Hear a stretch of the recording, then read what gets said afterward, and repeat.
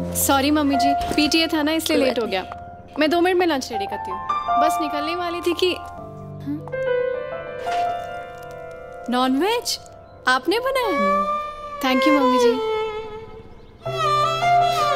Thank you mummy. India के kitchens बदल रहे हैं और बदल गया है इंडिया का डालडा जो बना है चुनिंदा सोयाबीन बीज से।